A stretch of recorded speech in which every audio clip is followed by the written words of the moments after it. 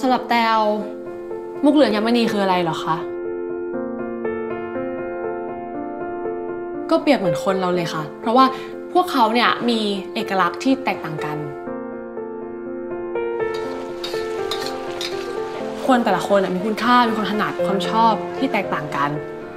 มีเอกลักษณ์ในแบบของตัวเอง ซึ่งมันก็ขึ้นอยู่กับคนคนนั้นว่าเขาเลือกที่จะ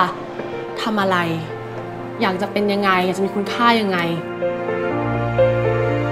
แต้วนะคะ ธนวันกิติไพศาลสินค่ะ เป็น co-designer นะคะ กับแบรนด์ทีทวิงเกิลค่ะ เรียนอยู่ชั้นปีที่ 3 จุฬาลงกรณ์มหาวิทยาลัยค่ะ ถ้าถามว่าทำไมถึงชอบการออกแบบเครื่องประดับ ต้องเล่าให้ฟังว่าตอนตั้งแต่เด็ก ๆ อย่างเงี้ยค่ะ ก็จะเห็นคุณพ่อคุณแม่ ออกแบบแล้วก็อยู่กับเครื่องประดับมาตลอด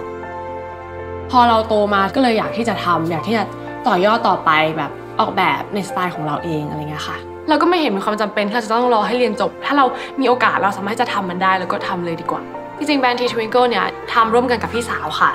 ร่วมกันช่วยกันออกแบบ เพราะฉะนั้นแล้วมุมมองเนี่ยมันก็จะยิ่งกว้างขึ้น ถ้าถามเรื่องแรงบันดาลใจของแต้วนะคะ หลักๆจริงๆเป็นคนชอบธรรมชาติมาก ความสวยงามแบบรายละเอียด detail เล็ก ๆ ของธรรมชาติอะค่ะอย่างที่เราออกแบบเนี่ยก็จะมีแบบกิมมิคเล็ก ๆ ใส่ดีเทลเป็นลวดลายที่เราชอบ เหมือนบางคนเขาก็จะพูดแบบโชคดีนะอะไรอย่างเงี้ยค่ะแบบ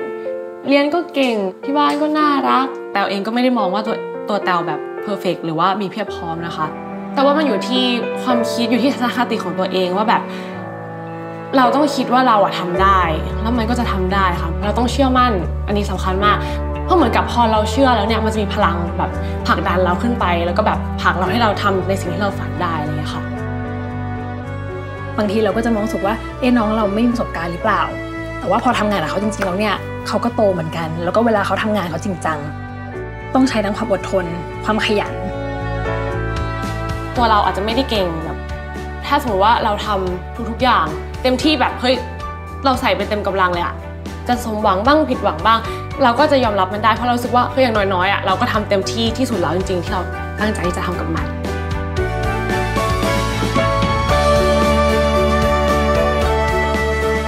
แต้วเนี่ยจะออกแบบโดยที่ไม่บดบังความสวยงามของมุกหรืออัญมณีค่ะ แต่ว่าเราจะส่งเสริมให้เขาดูยิ่งสวยงามมากยิ่งขึ้นแทนค่ะ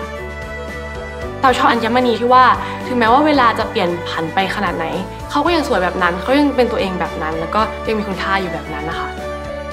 ถามว่าคุณค่าเขามาจากไหน ก็มาจากตัวเขาเองที่หล่อหลอมให้เขาเป็นแบบนั้น คนก็เหมือนกัน คนเรามีคุณค่าในแบบไหนเกิดขึ้นได้ยังไง ก็อยู่ที่ตัวเราทั้งนั้น แต่เชื่อว่าทุกคนเนี่ยสามารถที่จะเปล่งประกายได้เหมือนอัญมณีเนี่ยแหละค่ะ